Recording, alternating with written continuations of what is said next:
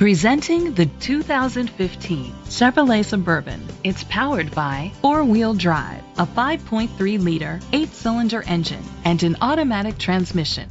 The features include blind spot sensors, tow hitch, tow hook, auto dimming mirrors, an alarm system, roof rails, power lift gate, rain sensing wipers, independent suspension, brake assist. Inside you'll find heated steering wheel, third row seat, leather seats, heated seats, Bluetooth connectivity, digital radio, Sirius XM satellite radio, and auxiliary input, remote start, steering wheel controls. Let us put you in the driver's seat today. Call or click to contact us.